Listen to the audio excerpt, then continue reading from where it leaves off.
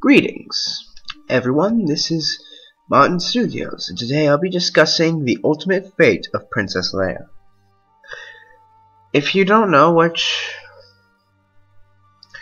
if you uh, don't, which is hard to believe, the actress who played Princess Leia in the in the original trilogy and the sequel trilogy passed away on December of 2016, along with her mother, Debbie, Debbie Reynolds. Uh, her uh, just after filming the Last Jedi scenes. Now, you're all, I bet you all wondering uh, how are they going to conclude Leia's story then without Carrie Fisher? I would say it will most likely be concluded in a comic where it would show her retiring from the Resistance, which is unlikely, seeing as how the First Order is still around, and Leia doesn't give up that easily. It is most likely she'll unfortunately pass away during the comics. Either be killed by the hands of Snoke's mysterious apprentice, or even suicide. Which is unfortunate, seeing as how she's lived a very stressful long life with the most likely chance she will be killed by a Sith apprentice, or killed in an explosion, seeing as how she almost had that fate in The Last Jedi.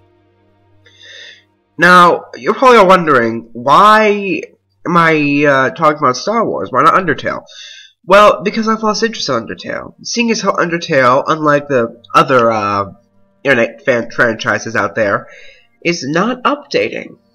There's no new updates, no sequel games, and I've just thought, why people still have interest in this? I'm taking a break from Undertale. Going to Star Wars. I actually am making a few things for Star Wars as well.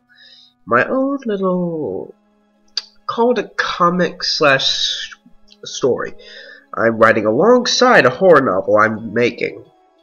I also just recently created a Facebook page and a Instagram account, which I'll put in a link in the description below. Now, put in the comments, how do you think Princess Leia will die in the comics? Because it's obvious she cannot die in the movies. Sure, they did, sure CGI, and you can find a good look-like, but you can't find someone to replace Carrie Fisher. You really can't. The prequels tried that with Padme, and Padme is beautiful. The actress who played Padme was beautiful and well uh, acted, but nothing can compare to Princess Leia in the original Star Wars. So put in the comments, how do you think Princess Leia will die in the in the comics? I would love to hear your response.